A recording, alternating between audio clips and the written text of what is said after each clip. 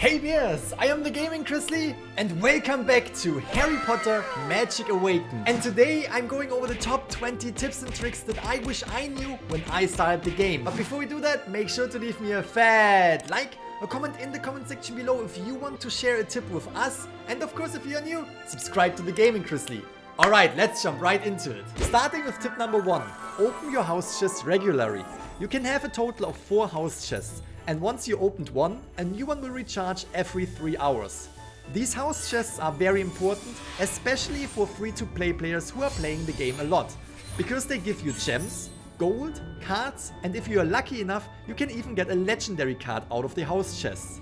To open a chest you need a total of 20 activity points, which can be earned in the Dueling Club, the different classes, the ball, practice matches and the Forbidden Forest. Tip number 2. The Yearbook. The more house chests you open, the more you can advance in the yearbook, which is not only giving you more insights into the story of the game, but also rewards you greatly for completing each chapter.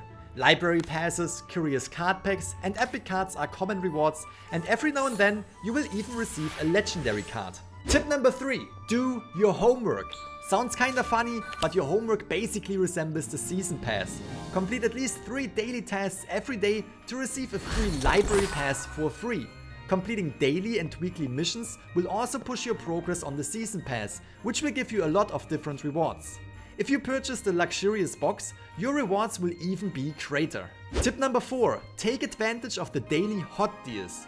First of all, you will be able to receive a daily free chest with several rewards in it, and second of all, if you want to spend your gems on library passes or curious card packs, then make sure to get the great value package from the daily deals. Tip number 5. Save your gems. And if you really want to spend them, make sure to use them for the daily deals from the hot deals section. Do not use your gems on cosmetic, except of when you just love to look fashionable. It's not too expensive to buy some cosmetics, so just go ahead. In general, for the gameplay, cosmetics don't really matter. Leveling up your cards does though. Tip number 6. If you're a new player, play the admission tasks. There are a total of 19 quite simple tasks that will reward you with great rewards the last being a key for the Gringotts walls. After going to the Gringotts Bank and opening up the vault, you will get several cards and one of them is legendary. Tip number 7 is probably one of the most important tips. Level up your spellbook. As we already know, leveling up our cards is very important, but that does not mean to only level up the cards we use. Make sure to level up all of your cards as soon as you can. There is even an option that lets you upgrade all at once. By upgrading your cards, you will increase your spellbook level, which will also increase your overall health, attack and exploration stats. Tip number 8. Play the Forbidden Forest. The Forbidden Forest is the best way to get new echoes, which are the second most important item when it comes to building your deck, besides your cards of course. Tip number 9. Upgrade your echoes. In the beginning it is okay to upgrade any echo, just so you will get a stat boost but later on you will have plenty of legendaries and even duplicate legendaries that you want to level up. Go to your deck and click on the echoes. From here you can see all the echoes that you own. By leveling up the echoes, up to 8 of your cards will get an upgrade and you will also receive attack and health boni. It's also important to know the abilities of your echoes, since different abilities will complement your deck in different ways. Neville Longbottom, for example, will let you heal ally units if there is no enemy nearby, which is a great buff. While Severus Snape lets every second attack ricochet once. On top of that, it increases your basic attack, so know your echoes. Tip number 10, make friends. You can make friends by clicking on the people, for example in chat, and add them to your friend list. Friends can be very helpful, since there are many ways of playing together in Harry Potter Magic Awakened.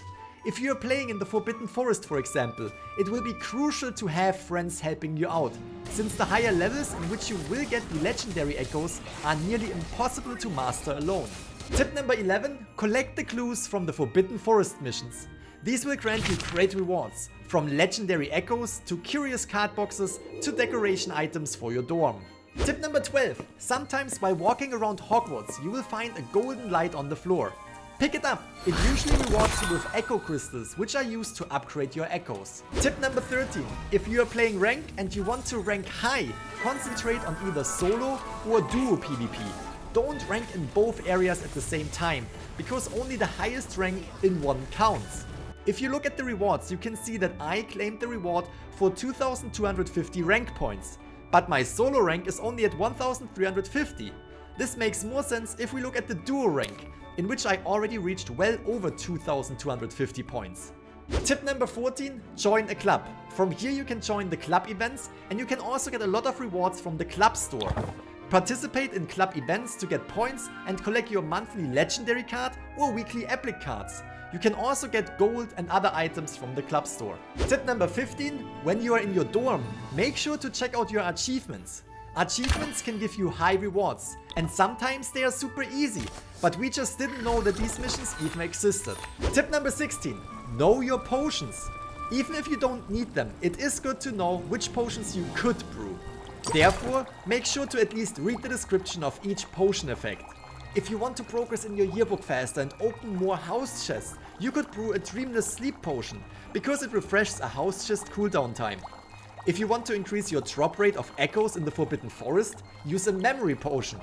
Or if you want to rank up in PvP faster, brew a Draught of Peace potion, because it will not deduct points from your tier rank in case you lose a battle after drinking this potion. And there are so much more. You don't have to use them, but it's good to know what you could use if you need it. Tip number 17, log in daily for the daily reward, which will randomly grant you gold, gems, library passes or mystery cards and also check your mail regularly for bonuses. The dev team is sending out different reward letters with great content like gems, gold, library passes and much much more. Tip number 18. Build smart decks. I don't want to go too much into detail when it comes to deck building, but make sure to understand all cards and how they can work together. If we look at the legendary card, the Norwegian Ridgeback Egg for example, we see that it needs to be healed before it hatches and deals great damage to the enemies. Even in its tip section, it already explains that it is smart to hide the egg in fog with Nebulus, so the enemy can't see it and won't damage it while it's healing.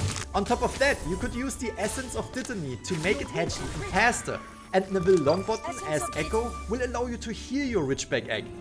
Know your cards, know good combinations, and you will have a good basic understanding of the competitive side of the game. Tip number 19. What we learned from tip number 18 is that legendaries are really good but you usually build a deck around these legendary cards. Don't build a deck filled with all legendary cards, because supporting one legendary with common, rare and epic cards will be much more powerful. Tip number 20, keep an eye open for limited time events and play in these limited time events. They usually provide great and limited rewards. And there are also different events, for example the bigger seasonal events like Christmas and Halloween events, as well as smaller events like the Puzzle Event Hunt. And those were my top 20 tips and tricks for Harry Potter Magic Awakened. If these tips were helping you out, make sure to leave me a fat like. Also leave a comment in the comment section below if you want to share tips with all of us. And if you're new, make sure to subscribe to the Gaming Grizzly. I hope you all have a fantastic day and I will see you in the next video. Bye bye!